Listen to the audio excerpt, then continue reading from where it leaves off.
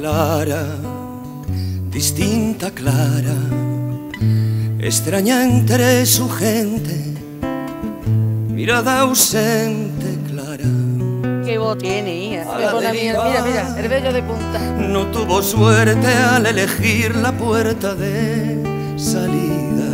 Clara se abandonaba en brazos de otra soledad, esperando hacer amigos por la nieve al abrigo de otra lucidez descubriendo mundos donde nunca llueve, escapando una y otra vez, achicando penas para navegar. Estrellas negras vieron por sus venas y nadie quiso preguntar.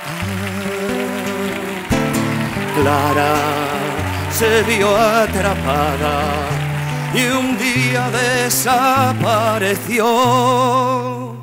Recorriendo aceras, dicen que la vieron, ajustando el paso a los demás, intentando cualquier cosa por dinero para hincarse fuego una vez más. Esa madrugada Clara naufragó. Bravo. Tenía el mar del miedo en la mirada, ropas empapadas y el suelo por almohada. Y lentamente amaneció.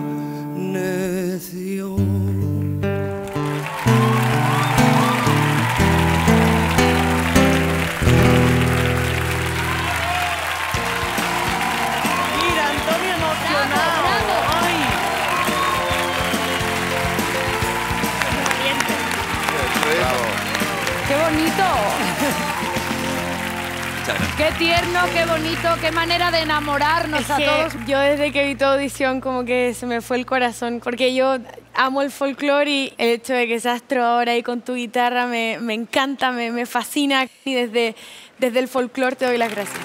Muchas gracias. Eh, la letra que acaba de interpretar Joaquín es de las que cristalizan la sangre. Te doy la enhorabuena porque hay que tener mucha sangre fría para salir a este escenario que casi lo nubla todo.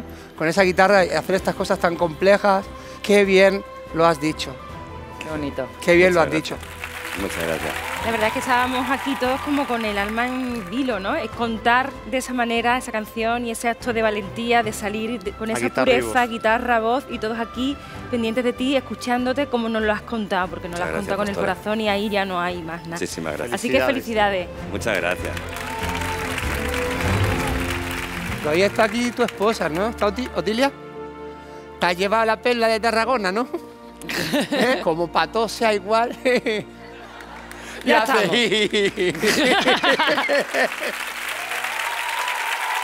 Vuelve con tu equipo que dentro de poquito te tenemos aquí, te acompaña tu coach. ¡Bravo! Qué bonito, maestro. Bravo, bravo, verdad. Muchísimas gracias, Joaquín. Un placer. Gracias.